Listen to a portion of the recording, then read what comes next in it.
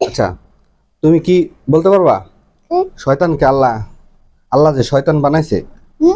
মানে শয়তান কিন্তু শয়তানই ছিল না যেটা জানো? শয়তান একটা ফেরেস্তা ছিল যে। জানো এটা? কেন সে শয়তান হয়েছে বলতে পারবা?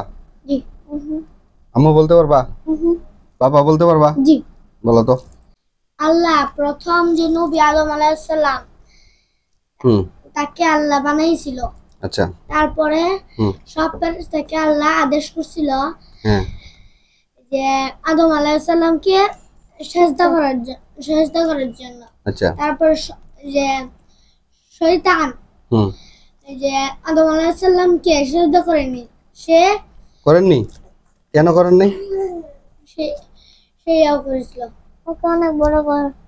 কি বলছিল? সে সে বলছিল আমি আগুনের তৈরি। সে মাটির তৈরি তাহলে আমি ওকে সেজদা করব কেন? এটা বলছিল তার মানে এটা একটা একটা ওয়ান কাইন্ড অফ অহংকার। রাইট মানে নিজেকে বড় মনে করা।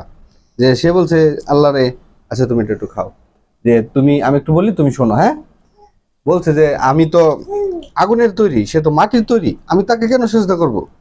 হুম এই যে একটা অহংকার আল্লাহর হুকুম অমান্য করা এবং অহংকার দেখানো এই জন্য সে অভিশপ্ত হইয়া শয়তান হয়েছে সে তো আগে শয়তান ছিল না। সে একজন ফেরেস্তা ছিল অনেক বড় ফেরেস্তা ছিল হ্যাঁ? এই তো? তার মানে কি বাবা? তার মানে হচ্ছে কি? অহংকার করা যাবে না হ্যাঁ?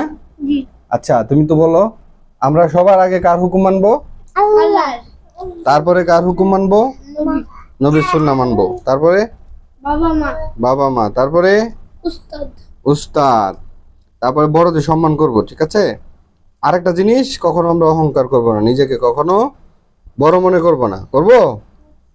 বড়। বড় মনে করব হলো আল্লাহ তাআলা সবচেয়ে বড় কে?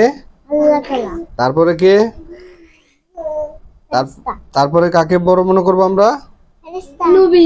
নবী হজরত মোহাম্মদ সাল্লাল্লাহু সাল্লাম। উনার জীবন। ফেরেশতা না উনি তো ফেরেস্তা না বাবা আম্মু। ফেরেস্তা অন্য জিনিস হ্যাঁ? ফেরেস্তা অন্য কিছু। আহারে, এ মাসে তো অনেক কাটা। তাইলে একটু আগে, শোনো, আর ছোট আর বড় নাই, আমরা সবার কাছ থেকে শিখতে পারি। তাহলে একটু আগে তোমার একটা মিস্টেক হয়েছিল, তোমার বোনে এটা বলছিল যে, ভাইয়া, তুমি তো এটা করো নাই। তখন তুমি একটু রাগ করছ বাট এটা কি ঠিক হয়েছে তোমার? ছোট হোক, বড় হোক, আমরা সবার কাছ থেকে কি করতে পারি?